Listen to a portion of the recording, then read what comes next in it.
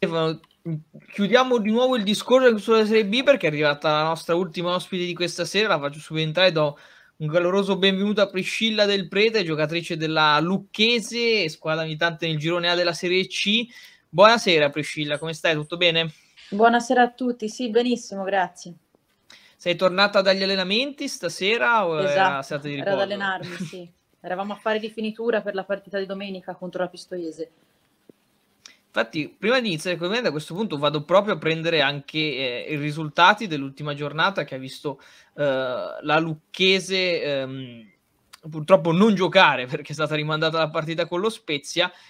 Precedentemente aveva battuto il Pavia 2-0 in trasferta e adesso questa è anche un po' la classifica con la Lucchese in questo momento a 18 punti, ma ben due partite da recuperare, tantissimi gli asterischi comunque come potete vedere del girone A e parto proprio da questo, Priscilla quanti asterischi, forse sarebbe stato meglio forse interrompere eh, per, come la Serie B alla fine del campionato per un mesetto, comunque secondo te è stato meglio continuare a giocare le partite che si riuscivano a giocare? Ma considerando che la Serie B è stata interrotta, a questo punto potevano rimandare di due giornate anche il nostro campionato o, oppure continuare a giocare. Il problema è che, come sappiamo, in Serie C eh, le rose sono molto corte e mm-hmm eh, ci vogliono 5 positive per rinviare le partite, qualcuna addirittura si è ritrovata in difficoltà perché ne aveva soltanto 3 a una rosa di 15 giocatrici. È un po' diciamo un casino, un po' una confusione, confusione totale diciamo. Ci sono un po', eh, infatti, come hai detto tu, ci sono davvero squadre con rose pochissime. Il Caprera recentemente l'ho vista proprio con tre ragazzi in panchina ad ogni partita. Facciamo un passo il indietro. Pontedera addirittura è andato a giocare sì. in 11 domenica scorsa, sì. quindi... Ecco, davvero... È un po' un problema, Poi, sì. Tutti i gironi sono messi un po' così. Tornando invece facendo un passo indietro, partendo proprio da, da quando hai iniziato a, a, giocare, volevo chiederti come è nata la passione per il calcio e comunque nel frattempo come hai visto evolversi il calcio femminile in Italia da quando è iniziato rispetto ad adesso, dove comunque anche il livello della Serie C si è alzato tantissimo in questo momento. La mia passione è nata grazie a mio fratello, ho un fratello di 5 anni più grande che giocava e io lo seguivo a tutte le partite, al che la società di appartenenza dove giocava mio fratello mi chiese in tutti i modi di iniziare, quindi iniziai con i maschietti. Ho giocato 5 anni con i maschietti, dopodiché sono passata agli Anado quando c'era la Serie A e ho fatto un bel percorso, diciamo, sono contenta della, diciamo, della mia carriera, tra virgolette, da calciatrice Ovvio che quando ho iniziato io non c'erano tutte queste, queste fortune, queste eh, situazioni, queste squadre professionistiche che si avvicinavano al femminile, eh, quindi era, la situazione per giocare era difficile. La cosa importante è stato sempre il supporto dei miei genitori e ancora oggi molte ragazze magari non giocano perché i genitori sono un po' scettici sul calcio femminile e diciamo che oggi c'è, un, cioè c'è stata una, una, un'evoluzione importante e speriamo che si vada avanti così e si arrivi veramente, concretamente al professionismo. Tra l'altro tu hai vinto anche due Coppe Italia nella tua carriera, una con la Reggiana e una col Tavagnacco. Eh, ti posso chiedere anche un ricordo di, magari queste, di questi due trofei alzati al cielo? Sì, eh, sono dei bei ricordi, diciamo. Eh, a Reggio, una squadra molto giovane, eh, nessuno ci, ci, avrebbe scommesso su di noi, e invece arrivavamo quarta in classifica ehm, e te, tutti pre- presumevano che noi lottavamo per la salvezza e poi il coronamento con questa Coppa Italia. Mentre a Tavagnacco avevamo eh, invece una squadra, diciamo, stratosferica, sulla carta ci davano per il triplete invece poi uh-huh. siamo riusciti soltanto a vincere la, la Coppa Italia purtroppo. E, uh-huh. e poi oh, aggiungo anche una Coppa Italia col calcio a 5, ho avuto una stagione uh-huh. nella Serie Elite, quindi sì, sono diciamo la ragazza delle Coppe Italia. Campionati Porti diciamo, fortuna. Di non sono riuscita a vincere, tranne due con eh, la primavera, poi il resto dai. Però mi sono divertita, dai. Invece adesso uh, sei alla Lucchese, sei arrivata quest'estate, tra l'altro uh, ci mancava un attimo da un po' una squadra a Lucca femminile, c'è stato di mezzo un po' il Filecchio, la squadra un po' più vicina, adesso invece esatto. è tornata proprio la Lucchese che ha preso il titolo sportivo proprio del Filecchio. Eh, mi raccontare un po' come sei arrivata in questa squadra a vestire questi colori e con le ambizioni del club? Allora, diciamo che eh, ho giocato quattro anni a Pontedera mm-hmm. la mia intenzione inizialmente era quella di smettere perché eh, io oltre a giocare alleno, quindi volevo dedicarmi soltanto a, a, a portare avanti questa, questa, mansione, diciamo, che per me è una passione eh, che va oltre ogni limite. Eh, poi la Lucchese eh, diciamo che nascendo quest'anno, come dicevi te prima, eh, mi ha chiesto una mano un po' da calciatrice, quindi mi ha detto dai, da, dacci una mano per il primo anno e dopo eh, piano piano diciamo ti lasceremo andare e farai quello che vuoi. E quindi mi hanno convinto e ho intrapreso quest'annata e, e niente, mi sto divertendo, dai. Ti volevo chiedere, un po' forse hai risposto anche prima, qual è stata la stagione, l'episodio, quello che ti ha un po' più segnato positivamente, che ricordi con più piacere in questa tua lunga carriera? Ma diciamo che ho diversi ricordi. Intanto eh, diciamo che eh, l'esordio in Serie A a soli 16 anni per me è un ricordo importante e da lì poi è iniziato tutta l'escalation, tutta la carriera e mm, diciamo che ero molto giovane e sono riuscita a trovare spazio subito, quindi ho dei bei ricordi di quelle annate. E poi i ricordi belli, come dicevo prima, sono le Coppe Italia, eh, l'esperienza al futsal, e... però diciamo che nel mio percorso ogni annata mi ha lasciato qualcosa. Probabilmente l'annata più bella è stata l'ultima eh, a Firenze, mh, proprio l'anno dell'acquisizione del titolo mm-hmm. della Fiorentina, dove anche lì avevamo una squadra molto giovane, costruita all'ultimo e mh, ci davano anche lì per diciamo retrocessi, invece siamo riusciti ad arrivare quarte. Eh, diciamo è stata un'annata importante con mister Sauro Fattori che ricordo ben volentieri, lo sento spesso, eh, diciamo che dai, è stata una delle annate più belle della mia carriera. Assolutamente no, eh, poi eh, ti volevo appunto chiedere anche magari come aiuti le, le, le ragazze più giovani eh, tramite diciamo, tua esperienza, c'è qualche consiglio particolare, qualche cosa che le dici per, per aiutarle nella crescita? Ma diciamo che per loro sono un po' l'allenatrice in campo e eh, mi chiedono sempre dei consigli, eh, sia tecnico-tattici, che eh, diciamo in, sotto tutti i punti di vista. E di questo ne sono orgogliosa, quindi mi sento la fiducia delle ragazze e questo mi fa ben sperare eh, un giorno di poter allenare insomma ragazze di, di questa età e anche più grandi e sono contenta, dai. Quindi mi, mi hai semplicemente risposto a una domanda che ti ho voluto fare sul, sulla tua prosecuzione, diciamo, da carriera della, da allenatrice, quindi la domanda era se, vole- se avresti voluto continuare, ma immagino quindi hai appena risposto di sì. E, no, ti volevo chiedere quindi diciamo sulla, sulla stagione attuale, no? Sì. Qual è il vero obiettivo di questa Lucchese? Ti volevo chiedere e poi anche un po' qualche parola magari sul derby di, con la Pistoiese di domenica, se non sbaglio, no? Sì. Domenica. Allora, l'obiettivo di quest'annata, diciamo che, come ho detto prima, eh, è una nuova società, è una squadra eh, nata quest'estate, eh, composta da giocatrici provenienti da una miriade di società, quindi l'amalgama diciamo che riusciamo forse ora a trovarla.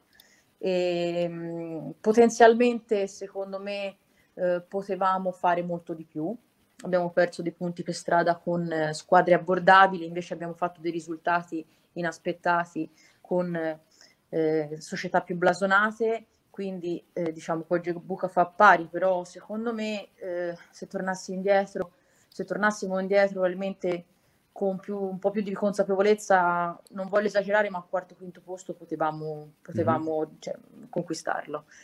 E, mentre per quanto riguarda la partita di domenica, è un recupero. Sì. Con la Pistoiese non giocavamo per via del Covid, sia noi che loro avevamo delle positive. E non è una partita da sottovalutare in quanto in Coppa Italia ci hanno fatto un bello scherzetto, perdemmo 3 a 2 da loro in un campo difficile.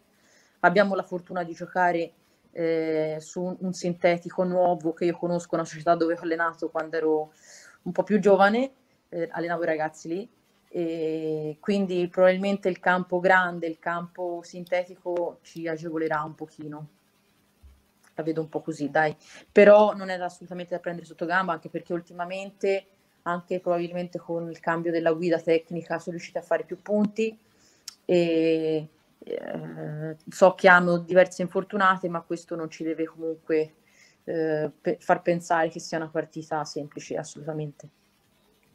Devo chiederti un po', comunque c'è stata rivoluzione sui gironi, quindi adesso da 4 sono passati a 3, comunque tu hai già vissuto col Pontedera, sono anche cambiate un po' le squadre che si affrontano, prima più o meno ogni anno si affrontavano più o meno le stesse squadre, quindi c'è il gruppo toscano che adesso si è un po' scontrato con il gruppo lombardo, esatto. eh, principalmente in quest'anno, quindi vediamo eh, in, in, soprattutto al nord Arezzo, Pirolo, Pavio che si sono un po' scontrati partite inedite. Volevo chiederti un po' com'è anche affrontare magari partite che si, si è anche meno abituati a giocare.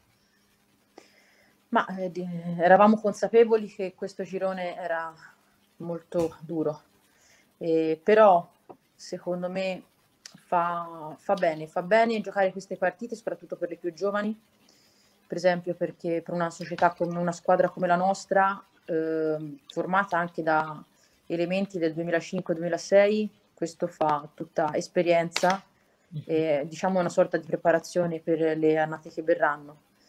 E è un girone duro, eh, però divertente allo stesso tempo, perché comunque ogni domenica, come vediamo, ci sono risultati strani, quindi non c'è niente per scontato, eh, tranne vabbè, un pochino le corazzate, le due corazzate davanti, con Arezzo che secondo me eh, per la, la, rosa che ha dovrebbe stravolgere questo campionato e il Pinerolo invece che non demorde continua comunque diciamo a far bene hanno anche loro tanti asterischi, quindi è ancora tutto in gioco, diciamo, lì è tutto in gioco. Comunque, confronto a qualche anno fa, eh, io anche l'anno scorso facendo la B col Pontedera, il livello è cresciuto tantissimo. E diciamo che la B dell'anno scorso e di quest'anno le possiamo paragonare quasi a una Serie A di qualche anno fa e mhm. altrettanto la Serie C. La Serie C è cresciuta tantissimo, ci sono delle squadre importanti e probabilmente ora con l'arrivo delle straniere nei nostri campionati, tante ragazze di categoria scendono per giocare più che altro, per avere minutaggio, mm-hmm. quindi di conseguenza si rinforzano sia la B che la C. Priscilla, innanzitutto è un vero piacere. E Grazie, allora... è un piacere mio. Scusate, vi volevo ringraziare. No, eh, gra- grazie a te. Ci mancherebbe. Eh, prima hai parlato insomma di, di, Firenze che poi è diventata Fiorentina, quindi automaticamente mi viene in mente di farti questa domanda. Eh, la stagione di quest'anno della Fiorentina è veramente molto deludente. E secondo te cosa è successo? Come mai quest'anno la Fiorentina sta andando così male nonostante sia una corazzata? Perché insomma le calciatrici più forti si può dire che giocano tutte per la Fiorentina. Ma eh, allora io dentro le dinamiche sinceramente non ci sono ancora eh, tante ragazze che sono lì, ci ho giocato insieme, vedi Tortelli, Sabatino, quindi le conosco, però solitamente non vado a, chi- a scendere nei particolari perché comunque ritengo che lo spogliatoio sia sacro, e, ehm, però mh, diciamo che mh, ultimamente la Fiorentina ha perso dei pezzi importanti che erano dei pilastri eh, un po' perché comunque vedi Guagni voleva provare un'esperienza importante, è partita e ha fatto bene, anche perché Alia eh, è sempre rimasta a Firenze, ha, avuto sempre tante proposte e diciamo che ha sempre onorato la maglia viola. Eh, di questo gliene facciamo merito, però probabilmente qualche esperienza in più per lei personalmente avrebbe fatto bene, diciamo. E poi è partita Dami, eh, insomma sono partite un po' di, diciamo, di, di pilastri. E ora è difficile capire, ci sono tante giovani nuove, probabilmente anche lì manca un po' ancora l'amalgama, vediamo, ora magari visto eh, con i due nuovi acquisti che sono di spessore, eh, magari diciamo che con quel tocco in più di esperienza riescono a tirare fuori qualche punto in più, dai, diciamo così.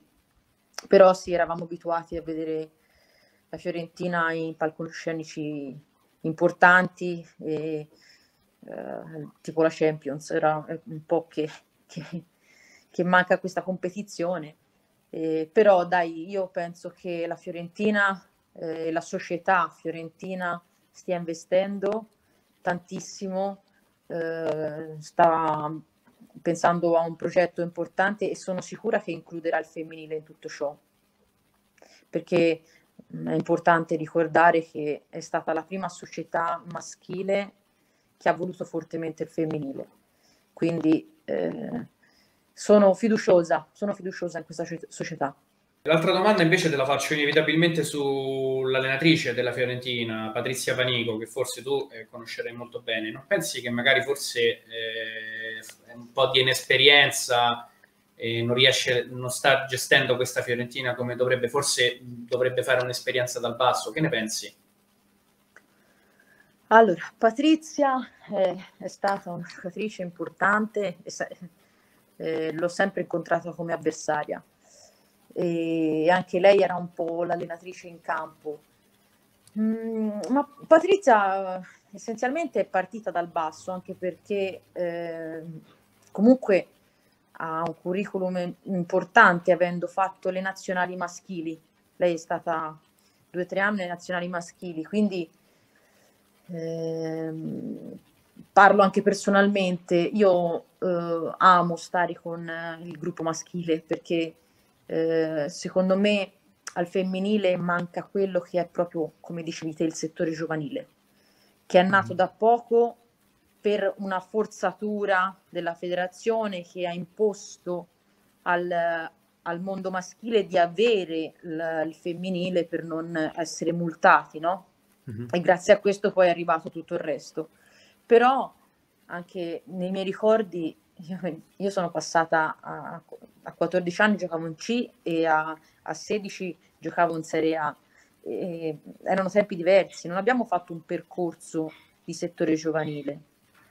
E, e quindi anch'io come allenatrice eh, ho detto, bene, faccio una bella gavetta con i ragazzi, io ora sono 10 anni che alleno, e preferisco farli nel maschile perché faccio un percorso così un giorno per vedere se sono pronta e sono, mm, diciamo, posso allenare una squadra importante, blasonata, come sta facendo Patrizia. Secondo me lei il suo percorso l'ha fatto. Certe volte bisogna trovarsi al posto giusto nel, momento, giusto e non saprei, non saprei, mi spiace perché eh, una cosa che un, un po' mi dispiace è che Ehm, non per discriminazione, siamo le ultime che possiamo discriminare. Eh, vedo tante figure maschili e si dà poca fiducia all'allenatrice femminile. Questo un po', un po' mi dispiace sinceramente. E, niente, è un po' così. Ultima cosa che ti chiedo, una curiosità sulla Lucchese, eh, considerando appunto la partita con la Pistoiese eh, c'è un ex della partita che fa parte della vostra rosa che però eh, non, eh, credo che sia ancora infortunata, non so se è migliorata. Giuditta Toppi. Giuditta Toppi non c'è più con noi. Ah, ecco, allora a questo punto niente, è salta la domanda. È Perugia nel mercato invernale. Mi era sfuggito no, questo dettaglio. Cosa... No, è stata una cosa proprio fatta all'ultimo, probabilmente per questo non è ancora, anche perché so che mh, diciamo ancora non è rientrata quindi mm-hmm. per questo probabilmente non si è sentito parlare. Quindi abbiamo una notizia in esclusiva. Notizia esclusiva, incredibile. Probabilmente invece... contro di noi giocherà sicuro. Ecco. Io invece come notizia in esclusiva, poi lascio parola a Francesco per la sua ultima domanda, era perché sono venuto a vedere poi via Lucchese io eh, qualche settimana fa ed è stato fantastico l'episodio in cui c'era eletto che ha distrutto la bandierina dopo dieci minuti eh, per un fallo laterale. Io ero un po' curioso del perché mi, mi tutta anticipato. questa rabbia contro la bandierina, perché ne parlavamo anche con Francesco queste settimane. Allora, insomma. la ragazza ha detto che in pratica eh, aveva subito due o tre falli e non gli erano stati fischiati. Però secondo me ci voglio aggiungere, gli voglio bene a, a Marta, eh, diciamo che c'è tanta competizione lì davanti, abbiamo acquisito anche Fenili, c'è Tata, mm-hmm. ci mhm. sono delle persone di esperienza, quindi quando hai la possibilità di giocartela, eh, dai il tutto per tutto e se sbagli due o tre palloni con la sua giovane età, invece di respirare e pensare che ci sono 90 minuti, un attimo, dai, diciamo che perdi un po' la testa. Però dai, alla fine è rientrata in gara, ha fatto bene, ha segnato, è una giocatrice importante anche lei per noi, quindi bene così, speriamo che eh, riesca a segnare altre reti, se le merita.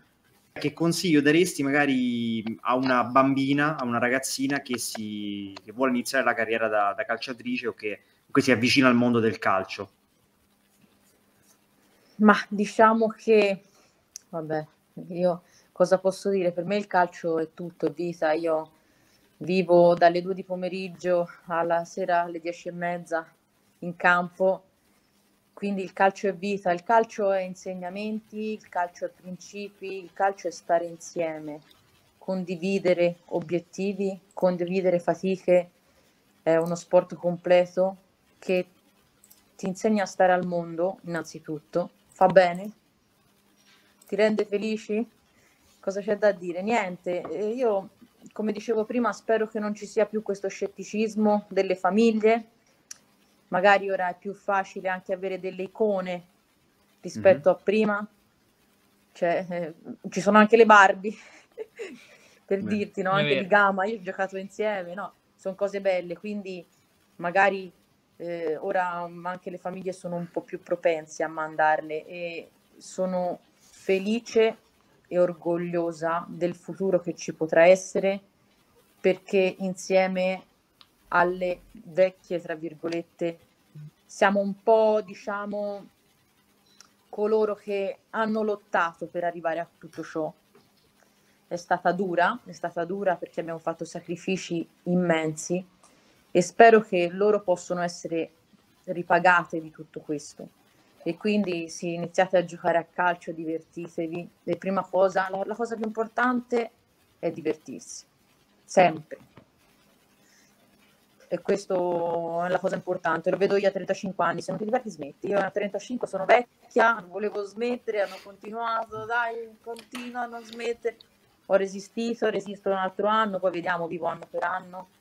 Però finché ti diverti vai avanti, quindi più, che un consiglio è un auspicio che spero che tanti ragazzi inizino a giocare a calcio e perché adesso c'è un futuro migliore, diciamo. C'è prospettiva, quello che non, non, non immaginavamo noi. Infatti, per esempio, io all'età di 28 anni ho deciso volontariamente di non giocare più in Serie A perché mi si prospettava un lavoro a tempo indeterminato e a quei tempi accordi economici, mm-hmm. non sapevi mai se a fine mese riuscivi a prendere il rimborso spese, erano più le spese che i rimborsi, eh, dovevi riuscire a coltivare il lavoro, lo studio con... Eh, adesso invece è tutta un'altra cosa. Diciamo che non siamo ancora professioniste, ma le ragazze di oggi vivono il calcio in modo professionale, a differenza nostra. Io penso che innanzitutto Luca sarebbe stato molto contento di questa risposta. Luca Stavo è il per ragazzo dire la che, stessa cosa. Che, che, diciamo in genere fa questa domanda, quindi quando rivedrà la diretta sarà sicuramente contento. E sono d'accordissimo con quello che hai detto tu. Prima ancora che professioniste, professionali. E devo dire che lo siete. Veramente fatico a, a, a, trovare una giocatrice che non, da, che non considero professionale. Quello da anni, anni, anni poi il professionismo sì, è una questione di legale, diciamo, di forma, esatto. di tutele, di tutto quanto quello che sappiamo, però l'essere professionali è una questione proprio di persona e quello ve lo insegna sicuramente giocare a calcio nelle condizioni che hai detto tu prima, quindi con tantissimi sacrifici e tutto quanto. Io chiudo semplicemente velocissimo perché sennò poi si arrabbia giustamente Giuseppe che chiede giocatore e o giocatrici preferiti comunque idoli che hai avuto? Eh, il mio idolo è Zidane, è sempre stato ah. Zidane. Diciamo che infatti fino a quest'anno ho sempre portato il 21.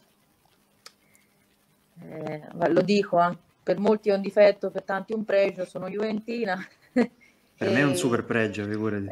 per me no. Quindi diciamo, per me no. Zidane è stato un mio idolo ha perso la testa come Marta al mondiale, però dai. Però da quando ci faceva comodo, dai. Diciamo. Esatto.